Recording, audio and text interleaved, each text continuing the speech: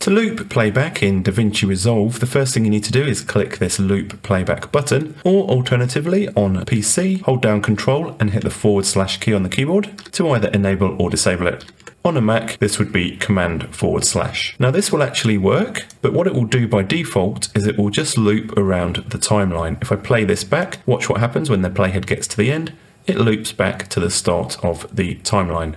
If you actually want to loop playback on a specific part of the video, the first thing you need to do is set an in point where you want it to start looping. You can do this by hitting I on the keyboard and then setting an out point by hitting O on the keyboard. But if you try and click play or hit the spacebar, notice this is not actually going to loop around. To actually get this to loop, what you need to do is either come to the playback menu, come down to the play around to menu option and choose play in to out. Alternatively, you can hold down alt and hit forward slash. Watch what happens when this gets to the out point.